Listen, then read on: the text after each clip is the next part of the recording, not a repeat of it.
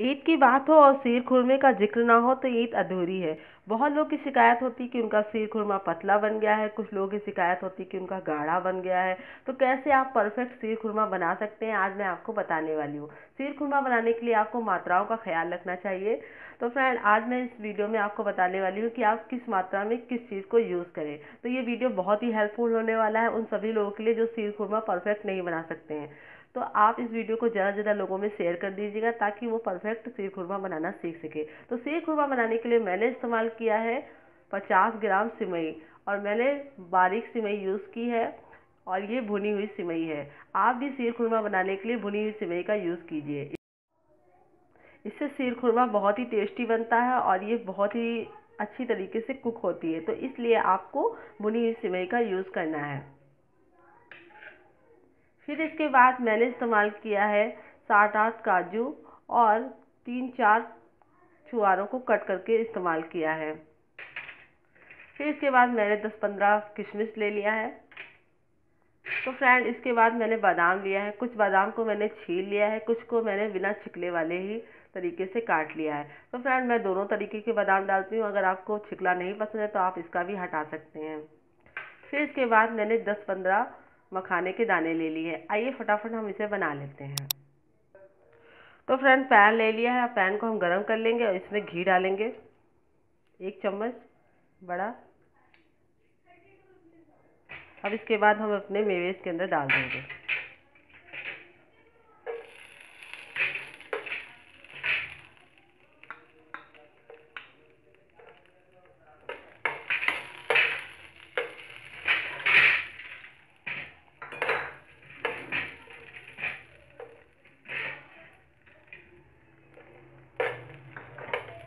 मेवे को हमें जलाना नहीं है, बस इसे हल्का सा रोस्ट करना है।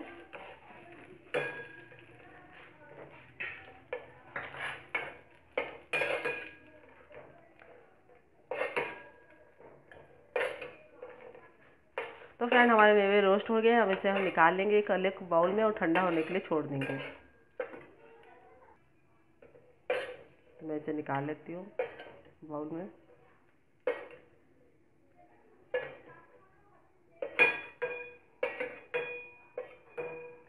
अब फ्रेंड अपने इसी पैन में हम ये सिवई भुनी हुई डालकर इसे गरम करेंगे। तो फ्रेंड घी का इस्तेमाल नहीं करना है क्योंकि हमारी सिमई पहले से भुनी हुई है। तो फ्रेंड सिमई को डालकर बस हमें इसे थोड़ा सा चलाना है, लमसम एक मिनट तक, ताकि हमारी सिमई अच्छी तरह से गर्म हो जाए। और सिमई हमारी भुनी हुई थी, इसीलिए हमें ज़्यादा मेहनत करने की ज़रूरत नहीं है। तो फ्रेंड सिमई भूनते समय आप ये ख्याल रखिए कि आप सिमई को बराबर चलाते रहिए, जिससे कि वे जले ना और एक बराबर तरीके से कुक हो। इसीलिए आपको सिमई को बराबर चलाते रहना है। तो फ्रेंड देखिए सिमई का कलर चेंज हो गया है और हम गैस के फ्लेम को बंद कर देंगे और सिमई को ठंडा होने के लिए छोड़ देंगे। तो फ्रेंड हमें बिल्कुल ठंडा नहीं करना है इसे। बस थोड़ा सा इसको दो मिनट के लिए छोड़ देंगे ताकि थोड़ा सा जितना अभी हीट निकल रहा है, वो हीट कम हो जाए बस। तो फ्रेंड गैस के फ्लेम को बंद करके मैं इसे साइड में कर देती हूँ। अब फ्रेंड हमारी सिवई को हमने साइड में रख दिया है। अब इसके बाद हमें अपने दूध को भगोने के सहित इस पर चढ़ा दिया है। तो फ्रेंड मैंने आधा किलो दूध को भगोने में रखा है। अब इसे मैं अच्छी तरह से बॉईल करूँगी। तो फ्रेंड मैं क्रीम वाला दूध यूज़ कर रही हूँ। अगर आप खोया डालना चाहते हैं तो क्रीम वाला दूध ना यूज़ कीजिएगा।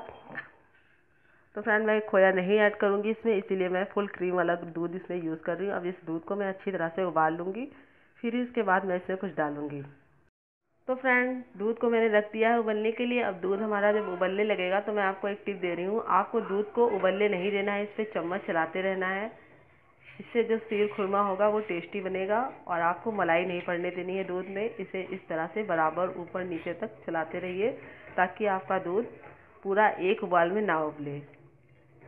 अब फ्रेंड आपका सिर खुरमा बहुत समय तक जमे ना। इसके लिए मैं आपको एक टिप देने वाली हूँ। बहुत लोग बोलते हैं, मेरा सिर खुरमा मैंने रख दिया और वो बहुत गाढ़ा हो गया, जम गया बिल्कुल हलवे की तरह। तो इसकी जो वजह होती है, इसको कैसे दूर करें, ये मैं आपको बताने वाली हूँ। तो फ्रेंड अगर आप दूध को एक उबाल में उबाल लेंगे तो इससे सीर खुरमा बहुत जल्दी हलवा बन जाएगा। तो फ्रेंड जब आपको दूध को उबालना है तो आपको बराबर चम्मच चलाते रहना है, जैसे कि हलवाई चलाते हैं। फिर इसके बाद आपका शीर खुरमा ना जमे, इसके लिए आपको आधा चम्मच घी अपने दूध में ऐड कर देना है। इससे आपका शीर खुरमा बिल्कुल भी जमेगा नहीं। आप अगर इसे एक घंटा भी बाहर रखते हैं, तब भी नहीं जमेगा, जब तक कि आप इसे फ्रिज में नहीं रखते हैं। तो फ्रेंड ये देखिए हमारे दूध में उबाल आने लगा है।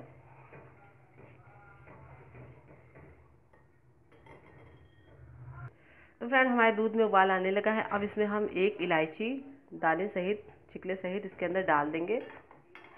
तो फ्रेंड आप चाहे तो इलायची पाउडर भी डाल सकते हैं, लेकिन आप जब छिकले सहित इलायची का दाना इसके अंदर डालेंगे तो उससे इसका जो फ्लेवर होगा वो बहुत ही टेस्टी आने वाला है। तो फ्रेंड इसे डालकर हम थोड़ा सा चलाएँगे।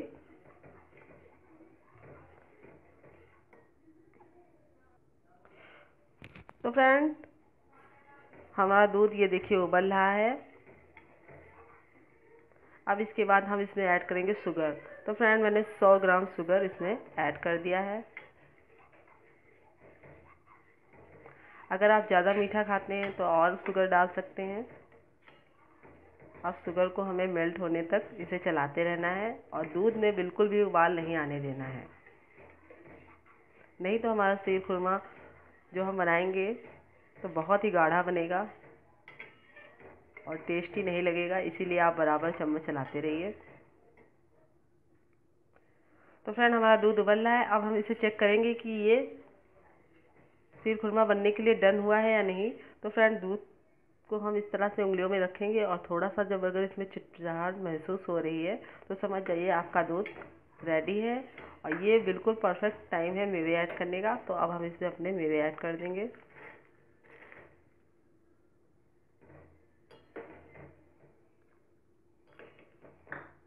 मेवे ऐड करने के बाद हम इसे थोड़ा और चलाएँगे और मेवे को पकाएँगे, क्योंकि मेवे में भी ऑयल होता है और जब हम इसे दूध में डालते हैं तो हमें मेवे को भी पकाना चाहिए लमसम दो मिनट तक, ताकि हमारे मेवे अच्छी तरह से दूध में ऑब्ज़र्व हो जाएँ और बहुत ही यम्मी टेस्ट देंगे। इसीलिए हम अब इसे थोड़ा और पकाएँगे। तो फ्रेंड हमारे मेवे भी अब पक गए हैं। अब इसके बाद हम इसमें अपनी सिमई को ऐड करेंगे धीरे धीरे थोड़ी सिमई ऐड करने के बाद हमें इसे चलाना है। एक साथ सिमई ऐड करने की गलती ना करें। बहुत लोग एक साथ सिमई डाल देते हैं। सिमई डालने के बाद आप इसे थोड़ा सा चलाइए ताकि सिमई अच्छी तरह से दूध में अलग अलग हो जाए। फिर इसके बाद सिमई ऐड कर दीजिए। इसमें और बची हुई। तो फ्रेंड, इस तरह आपको दो बार में सिमई ऐड करनी है। अब इसके बाद इसे चला देना है। और इसे पाँच मिनट और कुक करना है, ताकि थोड़ा सा हमारा जो सिमई है, वो सॉफ्ट हो जाए। तो पाँच मिनट हम इसको बिल्कुल मीडियम आँच पर ढक्कन लगाकर पकाएँगे। तो फ्रेंड, पाँच मिनट हो गए हैं, अब हम अपने ढक्कन को हटा लेंगे और सेव खुरमे को चेक करेंगे। ये देखिए, जब आपकी सिमई ऊपर आने लगे दूध की तो समझ जाइए आपका सेव खुरमा डन है। और ये देखिए, ये कितनी अच्छी तरीके से पका है। ना ज़्यादा ये गाढ़ा है, ना ज़्यादा लिक्विड है। इस तरह से आपको सीर खुरमा बनाना है। तो फ्रेंड इस तरह से जब आप चम्मच मिले तो आपकी सिमई और दूध दोनों नज़र आए इस तरह से। तो फ्रेंड हमारा सीर खुरमा डन है। अब इसके बाद हम अपने गैस को फ्लेम को बंद करने से पहले एक काम और करेंगे, जिससे कि हमारा सीर खुरमा और टेस्टी लगेगा और खाने में और महक में भी बहुत ही बढ़िया फ्लेवर आएगा। तो हम इसमें ऐड करेंगे केवड़ा। तो फ्रेंड दो बूंद केवड़ा हम इसके अंदर डालेंगे। ज़्यादा केवड़ा डालने से सीर खुरमा बहुत ही ज़्यादा कड़वा हो सकता है। इसीलिए दो बूंद सीर खुरमा में डाल दीजिए केवड़ा। ये देखिए, हमारा सीर खुरमा रेडी है। कितना खूबसूरत लग रहा है। लास्ट में हम इस पर थोड़े से बादाम और डाल देंगे। तो फ्रेंड ये डन है।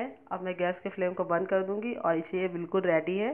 आप इसे चाहे तो फ्रिज में रख के भी खा सकते हैं और चाहे तो गरम गरम भी खा सकते हैं। जिस तरह से भी आप खाएँगे, ये आपको बहुत ही टेस्टी लगेगा। तो फ्रेंड अगर आपको ये सीर कुरमा पसंद आए तो मेरी वीडियो को लाइक कीजिएगा शेयर कीजिएगा और मेरे चैनल को सब्सक्राइब नहीं किया तो ज़रूर सब्सक्राइब कर लीजिएगा।